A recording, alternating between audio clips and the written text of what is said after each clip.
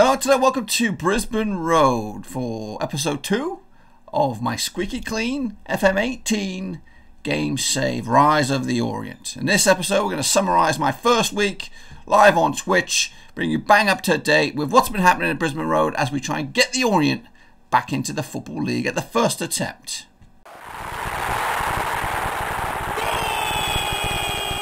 That's right, folks, back once again with another update of my FM18 game save with Leyton Orient. So far, so good. We are deep into the month of October as we edge towards the month of November, and we are sitting pretty at the top of the Bananarama League, as I call it.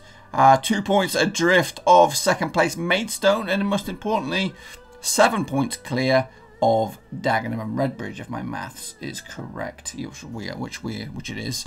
For the past week, I've been live on Twitch doing the uh, actual game save, so that content is still up there if you want to check it back in all its glory, in all of its six-hour glory.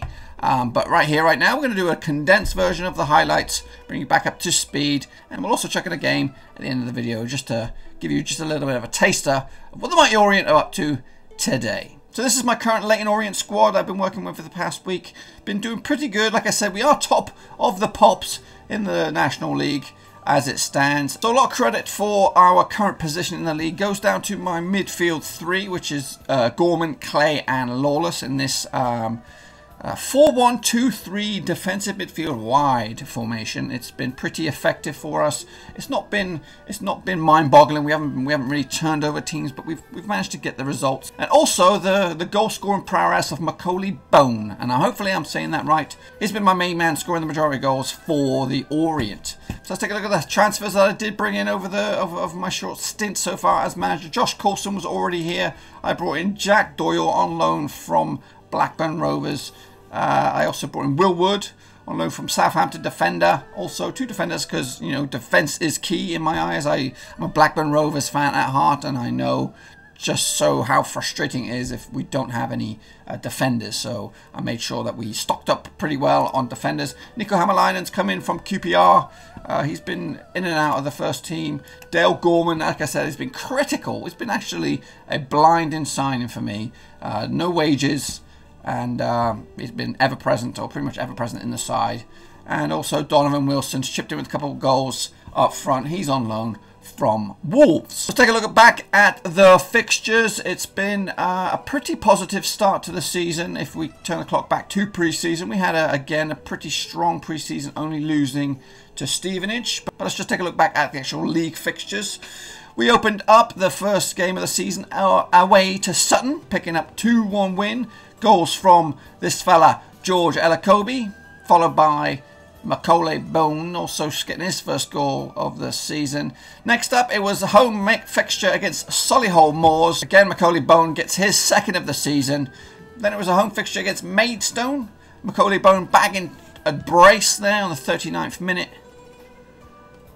And right here on the 69th minute. Then it was back in the away days again for Leyton Orient when we took on Bromley in a bit of a it was a tough match, uh, finishing 2-1 winners. Donovan Wilson getting his first goal, and then also Bonne getting another, which continued our positive start to the season. Four wins out of four, I think it was at that point. Um, moving forward, we then took on Woking away and our first drop points of the season, but we did open up scoring pretty early on. Jamie Sendles White with the goal. Then we took on Eastleigh at our gaff. 3-0 winners. James Dayton with his first two goals of the season. Macauley Bonne is sandwiched in between that. Um, Dayton adding his second right in the injury time. And then we took on Maidenhead. Battle of the top, I guess, as we look back on that now. Dale Gorman uh, the Loney opening up the scores, well, scored for us. Then our first slip up of the season. But that slip up didn't stop us. We picked up another three points as we picked, beat Boreham Wood 1 0 at their gaff. Macauley Bonne once again on the score sheet. But our form was still inconsistent. Picked up a, we dropped another two points and another banana skin against FC Halifax at home before a five goal thriller against Hartlepool where we had goals from Dale Gorman, Macauley Bonne and Craig Clay's first of the season. We'll talk about more about Craig Clay in just a second. Uh, our inconsistent form did see us drop down the table a little bit to third. I think our lowest point was third. We had a nightmare against Aldershot at their gaff before. For a Craig Clay hat-trick, uh, gave us all three points in a 3-1 home victory against AFC Fylde. Then, a monster clash in my eyes, uh, two fallen giants in Leyton Orient and Tranmere. Uh, we took on uh, the Tranmere Rovers at their gaff. 2-1 winners, courtesy of a Jack Leone goal, and then also Macauley Bonne with another goal for his tally. The wins kept on coming uh, as we picked up a monstrous 1-0 win at uh, mid-table Barrow. Macauley Bonne once again in injury time uh, before our disappointing exit in the FA Cup fourth round qualifying round against promotion chasing Dagenham and Redbridge. Um, I did field a weakened side in this one. Henry Ochieng was the only goal scorer for us. I did, I did mix it up a bit because I did have a lot of players on my case trying to get themselves in the first team. I thought this was going to be a good opportunity but uh, my gamble backfired. They called me the Tinker Man, and it backfired. Crash out of the FA Cup before it really even gets going. Then we were back into the league, and another injury time winner for Macauley Bonne against Macclesfield. 1-0 uh, winners. And then I ended it uh, with another monstrous victory, 3-0 win at Gateshead thanks to Donovan Wilson, uh, a goal, and two more for Macauley Bonne, the 32nd minute and also on the 41st minute. I'm thinking you're wondering, what the heck is that sparkly thing at the top there? Well, that, my friends, is my Manager of the Month award. I picked that up uh, in August, uh, and Macauley Bonne also picked up the Young Player of the Month for the same month. Um, but yeah, this is where we are right now as we head into Wrexham away. And Wrexham currently sit 13th. We're top of the pops, 39 points, uh, two defeats, three draws, 12 wins. Um, as for the goal scoring charts, Macauley Bonne is joint top with 33-year-old James Constable from Eastleigh.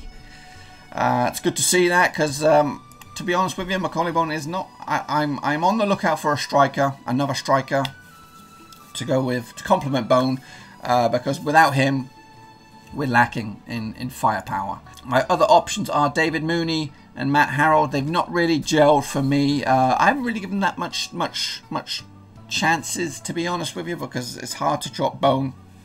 Um, and there's not many uh, cup games that I can I can experiment with, so I have to really play my strongest 11 for the league because I don't want to I don't want to you know jinx it or change a winning system because so far we're doing pretty good and, and, and for a person who's been out of the game for about 10 years um, yeah I'm, I'm I'm pretty happy with how things are going as I've got you guys here, might as well play the next game, which is Wrexham away from home as we edge towards the end of October uh, and into the month of November. So if you join me next week, you'll be able to catch uh, me live as I battle through this fixture congestion. We've got a massive fixture pile-up coming over over the Christmas period when we take on second place Maidstone on the 23rd of December. Then we take on third place Dagenham and Redbridge on, the on Boxing Day, the 26th of December. Then we have a visit of Bromley before we have the return leg against Dagenham and Redbridge at their gaff on New Year's Day. So this uh, cluster of four fixtures, if we could take, well, if we could get 12 points from this, I think we will be on our way to um, the Football League. Here we are, was built up to the fixture against Wrexham. Uh, just a quick glance overview of the matchup, see if there's any standouts or any bits of information that I need to take note of. But uh, back into team selection now. So I made a few changes, and this is what I believe is my strongest 11 going into this match against Wrexham. Uh, and then as we edge towards kickoff, so you're going to be here and watch the, uh, hopefully, a glorious day. If not, it's going to be a nightmare. Uh, head into the dressing room. I'm going to give these guys a bit of a bit of a positive boost. Or, um, or, or not. Um, so let's get stuck into it. Uh, this is the new game. Um, it's actually changed my... We'll, we'll, let, we'll let it fly for now and I'll tweak it later. There we go, Judd. Throw into Clay. Back to Judd. Hämäläinen and Dayton with a shot. Save by Dunn in goal for Wrexham. Um, Gorman now, have hovering over a free kick. Floats it in there. Again, Gorman, that's a shot. I do not like this angle.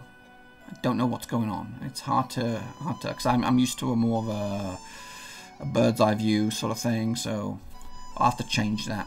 Get ready back for the, for the stream. Because this is now the actual live game. I did update it last night.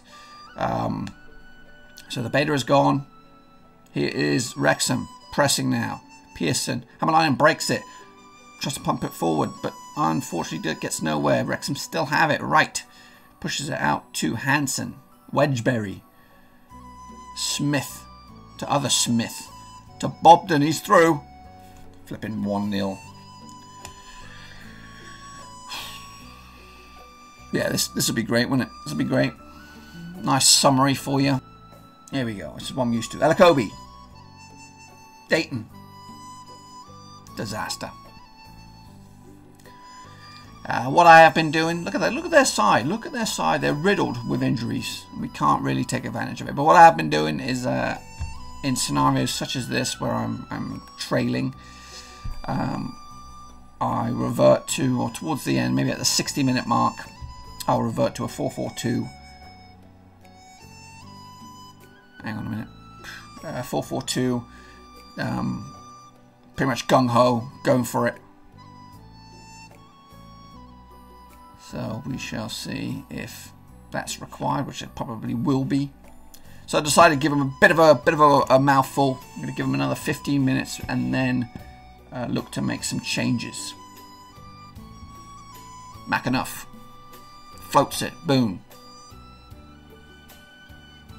Gets rid of it, back down to McAnuff. Gorman, given away. Bowden, got space now for Wrexham. Lawless cleans house. Pay dividends. Judd pings it long. Koroma with his pace is outdone by there. Elokobi at the back. Lawless. Out left to have a line and Crosses. Bonne. Keeps it in play. Only for a little bit. Pearson now Wrexham. The second goal will probably end it. McAnuff boots it. Wedgbury get it for Wrexham. Pearson closed down a little bit by one of my boys. Lawless breaks it up. Dayton over the top. Koroma can't shoot for Toffee. Um, basically, this is not what I was was hoping to showcase today.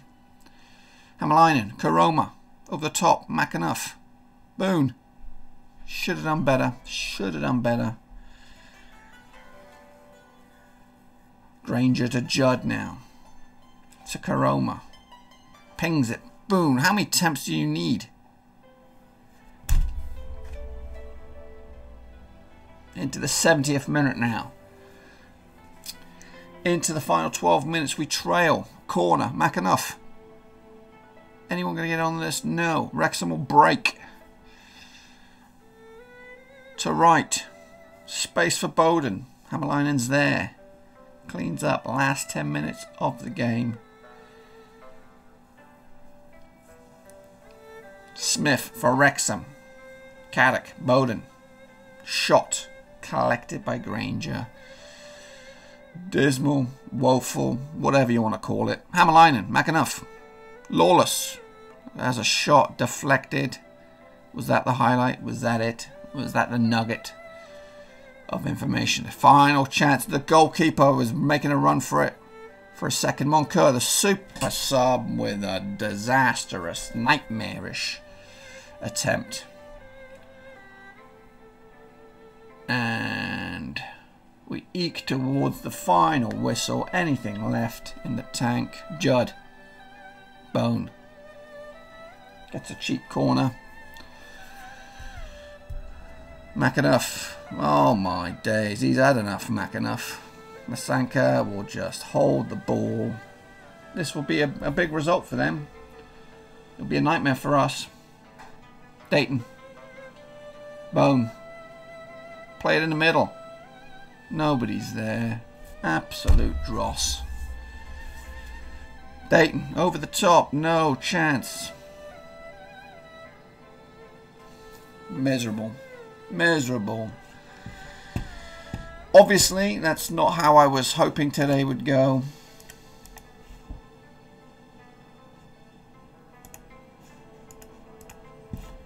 And I'm hoping that still leaves us top of the top of the pops because, uh, yeah, that would be great. Yep, nope, we are now second. So that fixture congestion in the month of December will be critical. So be sure to stick around and join me on Twitch next week, Tuesdays and Thursdays, as I try to rectify this wrong and get Leyton Orient back to the top spot.